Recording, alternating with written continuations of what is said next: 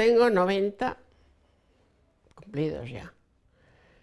Y tenía yo 18 años cuando vinimos aquí. No había tiendas, no había nada.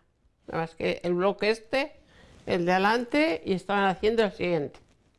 Con el tiempo, según iban haciendo las casas, pues iban poniendo tiendas de todo, un poco de todo. Ahora es cuando no hay nada ya, lo quitaron. Pues aquí ya no se vendía nada y marcharon. Cuando empe- empezaron a poner los supermercados, las tiendas desaparecieron. Pero aquí estábamos todos metidos, hasta mis abuelos. Nos juntamos aquí como 10, por lo menos, ¿eh? Sí. Nosotros no teníamos que gastar nada más que pagar la renta. Nunca no hemos pagado nada de... Lo hacen ellos, lo hacían ellos, viviendas.